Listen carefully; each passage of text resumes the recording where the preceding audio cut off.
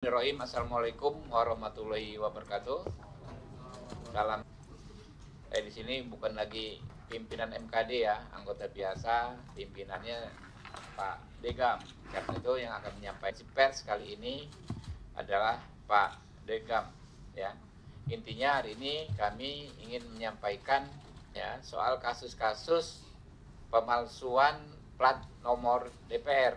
Kalau tadi yang di apa saya WA ke teman-teman ada dua kendaraan ini baru saya nambah lagi satu kendaraan mewah ya mungkin itu uh, Pak Dekam secara umum bisa disampaikan Wabarakatuh.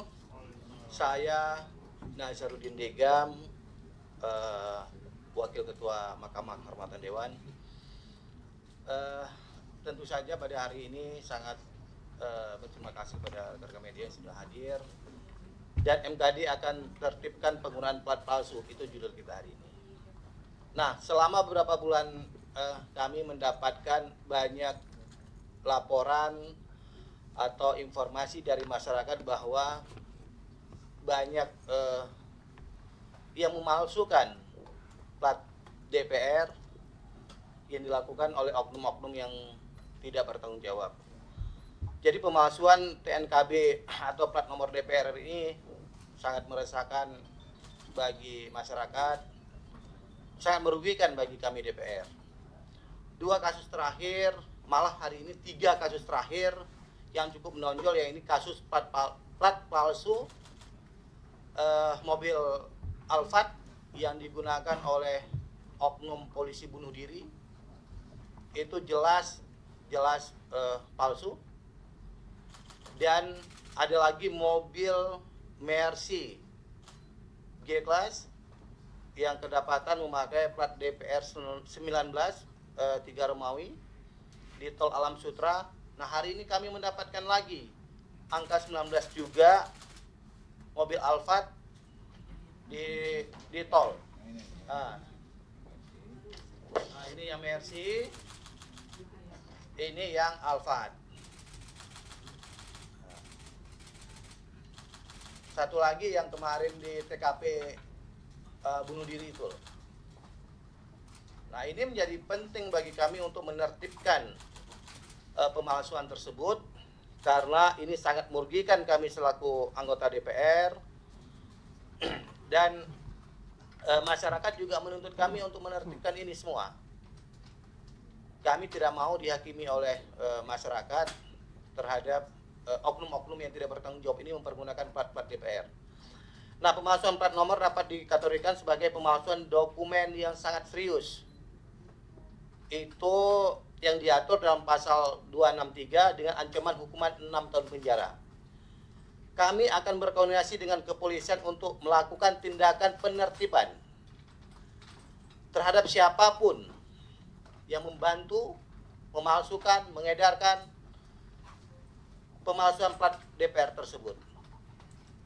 Tentu saja eh, segera akan kami lakukan karena ini semakin banyak mobil-mobil yang seenaknya saja memalsukan plat tersebut. Terima kasih.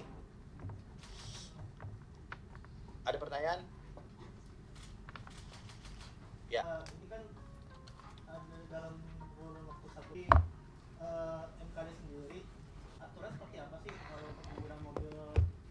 Nah, jadi ini ini ada eh, aturannya.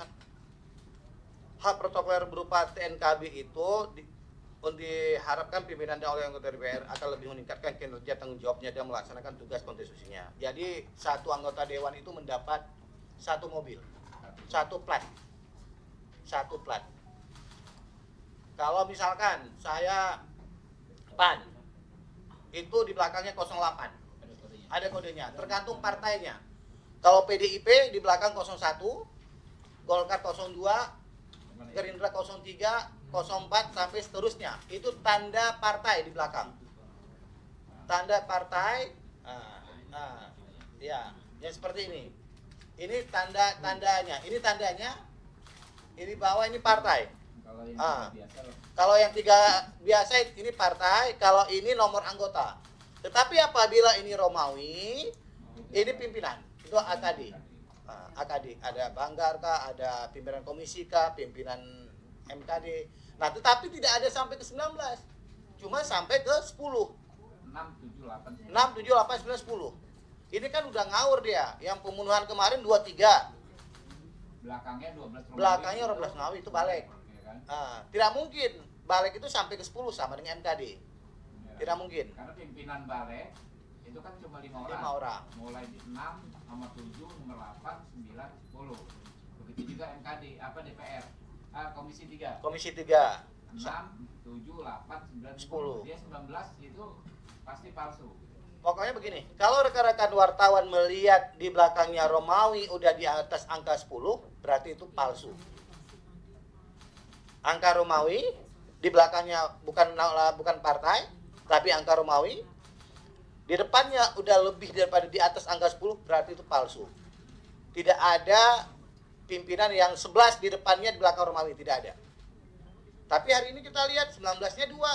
Nah, ini lucu. Di Mercy dipakai 19, di Alfa dipakai 19 di belakangnya Romawi. Ini jelas-jelas palsu. Ini sangat merugikan bagi lembaga kami. Yang lain?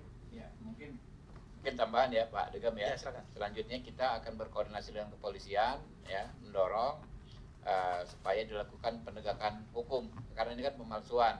Ya Pak Degam Ya, kemarin betul. juga sudah koordinasi dengan ini ya. Dengan Dirlantas. Saya sudah telepon Dirlantas kemarin untuk Ah. segera menangkap gitu loh. Pakai CCTV kan. Pakai CCTV. Ya. Bantu masyarakat. Ya, kita eh, eh, kita minta masyarakat eh, agar masyarakat kalau melihat plat-plat tersebut itu segera melaporkan kepada polisi supaya, ditangkap. Mungkin kalau melaporkan kepada kami MKD eh, terlalu lama, laporkan aja kepada Polantas untuk ditangkap dan kita proses hukum orang tersebut. Ini sangat-sangat memalukan bagi lembaga kami ini. dan juga jangan tergiur ya uh, bisa mendapatkan plat ini dengan membayar kepada siapa pun karena memang ini plat hanya untuk anggota DPR tidak boleh diperjualbelikan kepada Siapa pun. siapa pun, jadi kalau ada misalnya oknum mengaku-ngaku Bisa mengurus lah. sekretariat DPR ya Sekretariat Pak DPR. Ya benar. akan bantu mengurus pengadaan nomor nggak bisa karena ini hanya bisa digunakan oleh anggota DPR mungkin itu ya rekan-rekan Ya. ya.